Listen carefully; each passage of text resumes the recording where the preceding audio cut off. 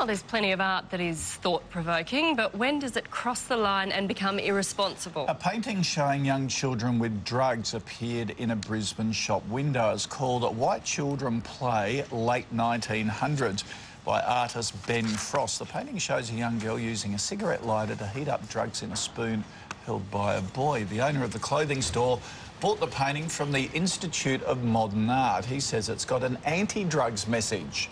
So, should this display stay in public view? Let's put that to our Thursday All Stars, Jackie Frank of Marie Claire magazine and Sky News journalist John Mangos. Now, Jackie, what do you think? Is it and is it an anti-drugs message? Um, I think the guys the guys got great publicity out of this. Well done. Put it in your window. Get on, you know, Sunrise, number one show in Australia. No, I think he should zip his lip. It doesn't have a pro or an anti-drug message. I had to look quite closely to see what about the drug situation in the picture anyway. I think it's just a, you know, art. I'm, I'm against censorship, so I think if it's art, put it out there, it's fine. But no, I don't think it's pro or anti-drugs at all. I actually agree with Jackie. I mean, it's a nothing picture, Yeah. and kids know about drug taking anyway.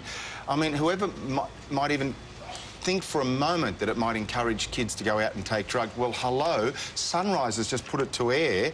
Um, it's not like this is an irresponsible program. Do any of us- of us feel guilty that while that's on our screens right now, that kids are going to rush out and be sorely tempted? I don't think so.